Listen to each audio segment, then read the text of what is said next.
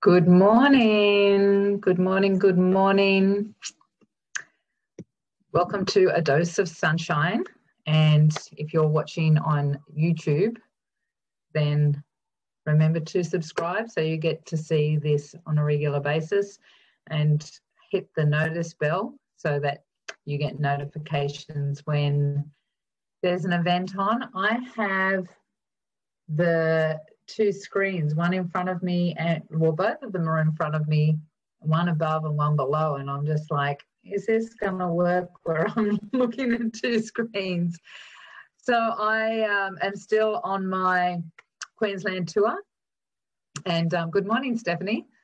Uh, I'm still on my Queensland tour. I'm actually in Toowoomba at a beautiful woman, Nicolette's house, Nicolette Jane. Just got here last night. And um, I'm doing two events, two guest speaking events. Uh, oh, one's actually my event on Tuesday night in Toowoomba, and the other one is Good Morning, Christine. Uh, the other one is with um, a beautiful mo- woman called Terry Adams Munn, who owns um, a business called 10,000 Dreams. What a beautiful name, right? So uh, yeah, I'm I'm very close to the home stretch. After here, I will be going to Armidale and hanging out with a friend for the, for the night, and then heading off back to Sydney, where I get in on Friday, and Saturday is my Good Morning Sue. Saturday is my next half day workshop, which is um, Heal Your Inner Child. So, good morning, Laurie. How are you going? So uh, if you're interested in grabbing a spot for the Heal Your Inner Child online event, then uh, do so. Just put into the links here somewhere that you'd like the link and, um, and we'll send it through to you, me and my team. So good morning, Irene. So today we're actually talking about edification. That's a big word, right? Who actually knows what edifying is? Who has an understanding of edification? And why do you think it's so important? Because uh, it's not something, it's not a word that gets used very often. Uh, edification, like, uh, is something that I learnt many uh, years ago when I was doing training. Uh, good morning, Raya. And uh, good morning, Yasmin. Good morning, Grace. Look at all these people jumping on. How you going?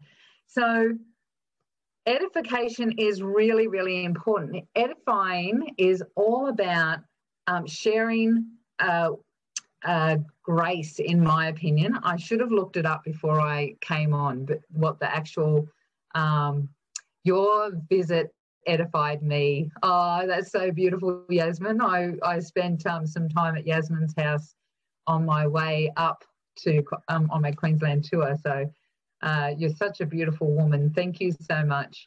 And um, it was such an honor hanging out with you and your family, Yaz, because uh, you've got such a big heart, and it was so lovely to connect with your friend as well and your family. So it was an opportunity to share some um, quality time and some um, loving space with some beautiful, beautiful people, right? So there you go. I actually just, as I was in the middle of doing that, I realized I was edifying Yasmin. Uh, edification is about lifting somebody up, it's about um, connecting with someone and finding the qualities that you know that they are and sharing them with you with that person or with others so I um, I'm not 100% sure if I've actually spoken on here about conscious language. I have a feeling I have. What we speak, we create. We create and we manifest what comes out of our mouth. You know, even in um, biblical or, or, sacred journals or, or um, books, you will find, I'm sure, in many, and I know it's in the Bible, uh, all about edifying others and and speaking cre- creation, right? Like in the Bible, it says, um, you know, God uh, said, "Let there be light." So when we actually speak, we're creating. There's this is consciousness coming out of our mouth, and verbal uh, acknowledgement creates a vibration. And through that vibration, we're actually lifting or, or depleting energy. So when you uh, are, are holding space for someone and you are sharing what you think of them, you want to be edifying them and speaking highly of them and what you actually express as um, the qualities that you can see in someone. Now, years and years ago, when I did a business training uh, with a woman called Dani Johnson, D A N I Johnson, uh, I learnt this edification, and I actually was brought up in a family that uh, I had not learned how to communicate with people, believe it or not, right? Because I talk a lot. So I did not know how to communicate with people. And so when I learned edification, it was um, challenging for me to actually feel comfortable. This is years ago, right? Feel comfortable with sharing who I think someone is because it's not something that naturally comes to us. We naturally, if you look at society in general, we are naturally drawn to criticize people or to find fault in people. It's just uh, who we are as a human um, species or who we've been, how we've been taught to behave as a human species. Hi, Helen, how are you going? Um, it's interesting. Nicolette and I were just talking about you, hun. so uh, when we we are naturally inclined to um, put someone down, just just in general. I'm talking in general, right? To find fault with someone. So when you can really spend time seeing the good qualities in someone and lifting someone up, it's actually lifting the energy up of yourself, is lifting the energy up of that person, and you're lifting the vibration of the energy around you and them. So there's this beautiful, loving connection which is who we truly are in our essence. So when I first started doing it, I found it really um, challenging to do. And now, as with what just happened with ja- uh, Yasmin, I start doing it before I even like I didn't even realize I was doing that.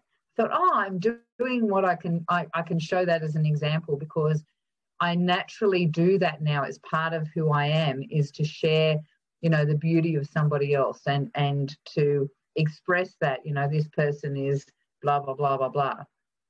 And so when you're speaking your truth when you're speaking um, from a place of edifying someone you're lifting them up and you're lifting up the vibration around them. And so you're more likely to see those qualities come out in them.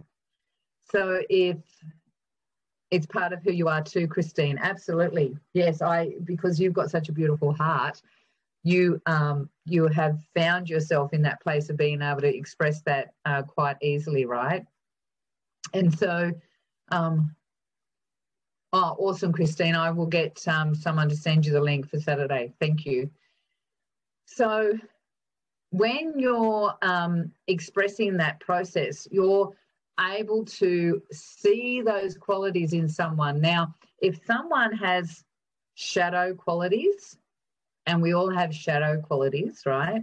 When someone has been depleted, uh, has wounds, has um, dysfunctions in some way, has what what a lot of people would call shadow qualities, or you know that that darker side through those wounds if you're expressing to them the beauty that you can see under and behind that, you are sharing love with them.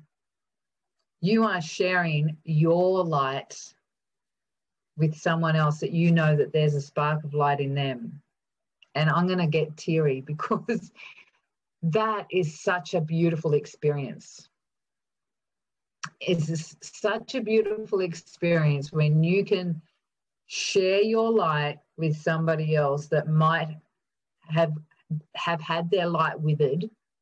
And so through that um, interaction you're going around that wound and seeing and and being able to see their light and they naturally feel that and they open that light up to you.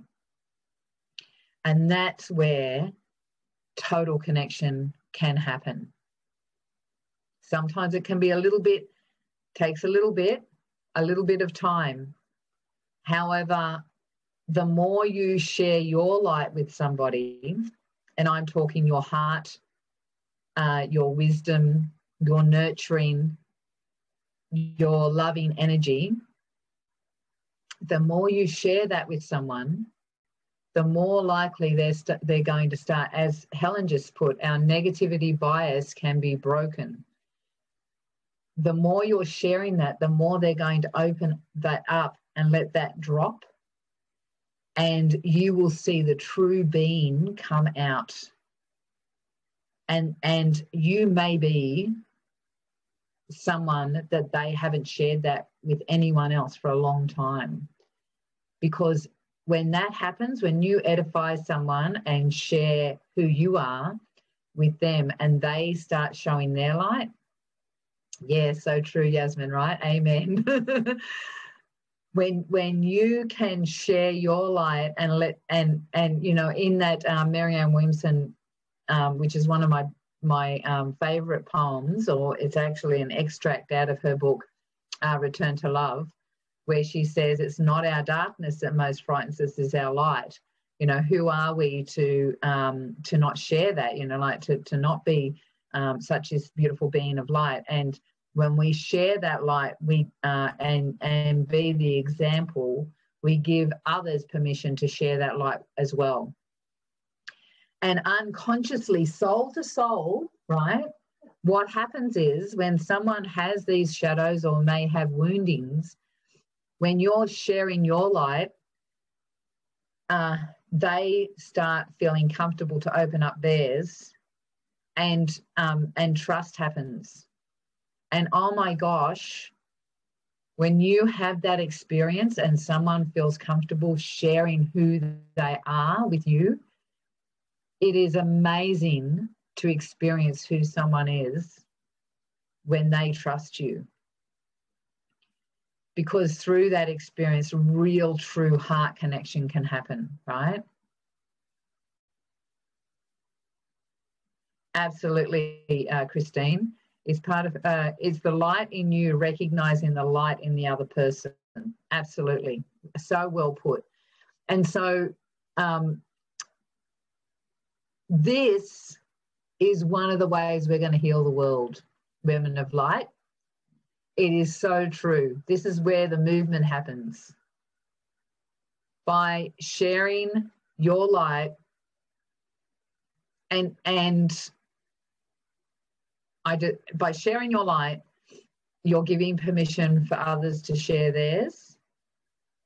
And deep, strong, heartfelt, heart centered connections happen, and healing happens. You do not have to be a healer for this to happen. By sharing and expressing to someone who you see them to be, and being full of gratitude and grace, thanking someone for their generosity, um, taking ownership of your space in their space and honoring their space and their boundaries. There's an art to it because it's something that we have not been programmed to do, and yet it's who we are innately. It's just a remembering it's a remembering of how to do this, right? Uh, I was going to say something. Oh, that's what I was going to say. Now, sometimes, and this is this is just getting a little bit deeper, and I I feel like you're all ready for it. Sometimes it can be a little bit challenging, and you've got to be aware of how much of your light you can shine. Because, thank you, Irene, because sometimes when you're shining your light, it can be a bit too overwhelming for someone that's got shadow qualities that is holding themselves safe and protected.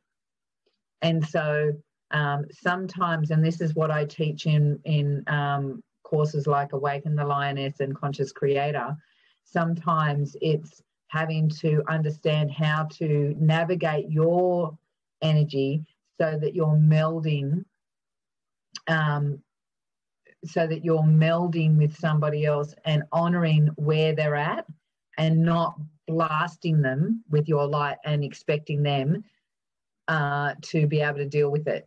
It's being honoring of somebody else's light and being very gentle. Sometimes it's not dimming your light, it's softening your light. And these are these are some of the things that we, you know, I teach because there's an art to that as well. Like it's not dimming your light, it's actually softening your light so that you can dance with somebody else just enough ready for them to open up. I went to an event yesterday that was a really, really beautiful event in Maleny before I came here.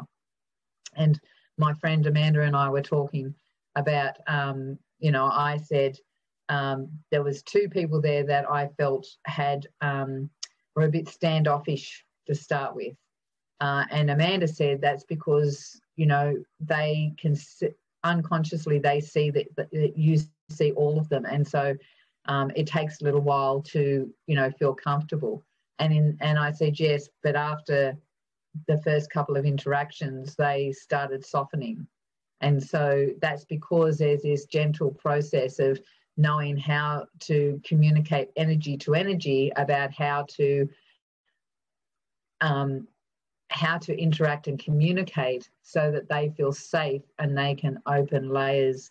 It's like open opening layers of the lotus, right? So um, edification is really important if we're going to heal the world. It's really important if if we are going to keep this process of this beautiful expansion that's happening in consciousness, edifying someone sharing their space, being gracious, loving them in a gentle way, and honoring them by sharing what you see of them is very important. And just as a side note, if you're in business, it's actually the way to have a successful business. Because when you can come from your heart, you're actually um, expressing who you are, and people can see who you are they feel comfortable because you can see who they are and and there's more likely some sort of rapport and connection that can happen. And that definitely has to happen in this new way of being um, authentic in business instead of what has been happening um, prior to that. So if you're in business um, just as a quick side note i have the conscious creator business mastermind starting very shortly, where um, a lot of this information will be shared on um, business training on how to, um, you know, communicate, build rapport, um, vibrationally shift yourself and your wounds so that uh, we can um, interact on an energetic le- level to create abundance and um, success in your business so that you're being able to share with more people and, and create um, a beautiful world. That's what we're here for, right? Is to create a beautiful world. So we're just about to do a visualization or an interaction.